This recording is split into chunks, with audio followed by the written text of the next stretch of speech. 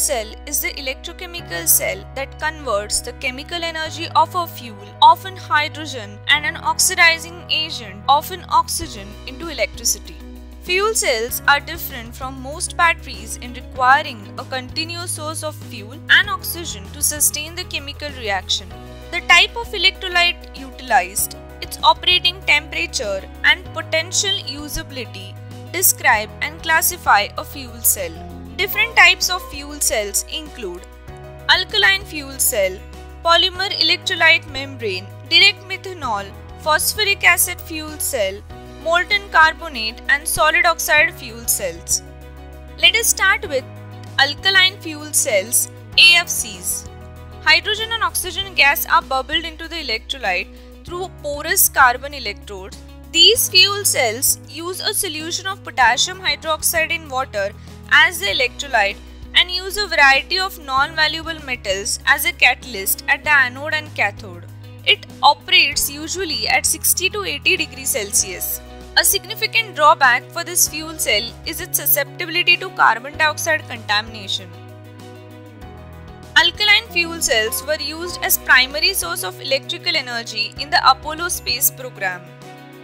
Polymer electrolyte membrane PEM fuel cells also known as proton exchange membrane fuel cells, they only require hydrogen, oxygen from the air and water to operate. PEM fuel cells use a solid polymer as an electrolyte and porous carbon electrodes containing a platinum catalyst. Usually fueled with pure hydrogen supplied from storage tanks or reformers. PEM fuel cells operate at relatively low temperatures around 80 degrees Celsius Low temperature operation allows them to start quickly. The platinum catalyst is costly, also extremely sensitive to carbon monoxide poisoning, making it necessary to employ an additional reactor. This reactor also adds cost. PEM fuel cells are primarily used in transportation applications such as cars, buses, and heavy duty trucks, also in some stationary applications. Direct methanol fuel cells, DMFCs, they are powered by pure methanol, which is usually mixed with water and fed directly to the fuel cell anode. Common operating temperatures are in the range of 50 to 120 degrees Celsius.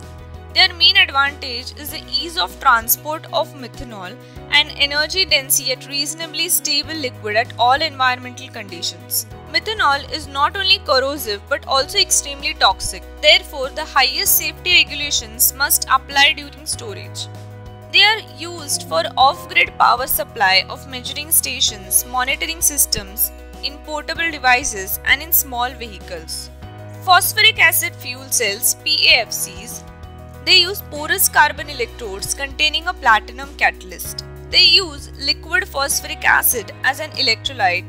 These cells commonly work at temperatures of 150 to 200 degrees Celsius. This high temperature will cause heat and energy loss if the heat is not removed and used properly. Using this heat in cogeneration can enhance the efficiency of phosphoric acid fuel cells from 40 to 50% to about 80%. They require much higher loadings of expensive platinum catalyst than other types of fuel cells which raises the cost. This type of fuel cell is typically used for stationary power generation and also find application in large vehicles such as buses. Molten carbonate fuel cells, MCFCs. MCFCs are high temperature fuel cells operating around 650 degrees Celsius that use lithium potassium carbonate salt as an electrolyte and this salt liquefies at high temperatures, allowing for the movement of charge that is carbonate ions within the cell. MCFCs do not require an external reformer to convert fuels such as natural gas and biogas to hydrogen At high temperatures at which MCFCs operate, methane and other light hydrocarbons in these fuels are converted to hydrogen within the fuel cell itself by a process called internal reforming which also reduces cost. When the heat is captured and used, overall efficiencies can be over 85%. The main disadvantage is durability the high temperatures at which these cells operate and the corrosive electrolyte accelerate component breakdown and corrosion, decreasing cell life. Since it has longer startup phase, they are being developed for coal-based power plants for electrical utility, industrial and military applications.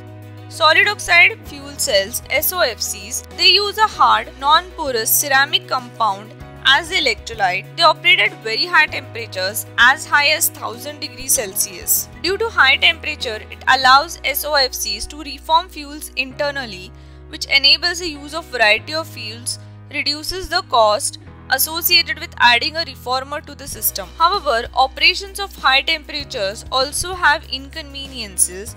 The consequence is a slow starting and requiring thermal protection to maintain heat and defense system components. Furthermore, it's suitable for utility applications but not for transportation. Thus for stationary use in power station and combined heat and power plants.